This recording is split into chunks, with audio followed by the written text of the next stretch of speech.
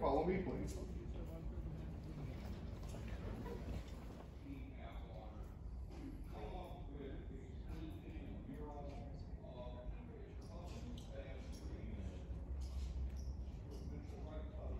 kind of like teasers before you actually sign up for the classes that are offered here.